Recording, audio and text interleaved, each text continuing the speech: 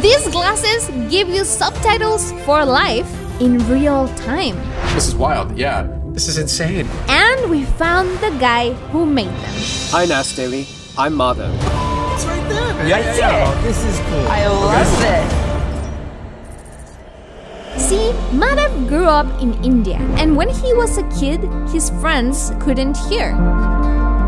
Every time they went to school, they couldn't understand anything. The teachers sounded like this. And their friends sounded like this. No one learned sign language, hearing aids were too expensive, and ear surgeries were inaccessible. This made his friends lonely and bored. So they dropped out of school. Yes, this world is built for people who can hear. And if you can't, you're lost.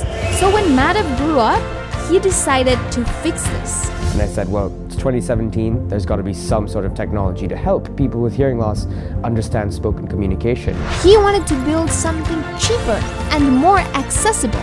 So he got some electronics and started to build. After many months, he came up with a new type of smart glasses. Basically, a tiny subtitle machine just like this for your glasses.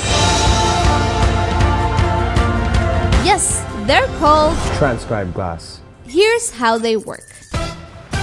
First, you put this thing on your glasses. If you don't usually wear glasses, we also make glasses without vision correction. Then you pair it with the Bluetooth on your phone. And when someone talks, the app will listen, turn the speech into text, and shine it onto the glasses. Like this.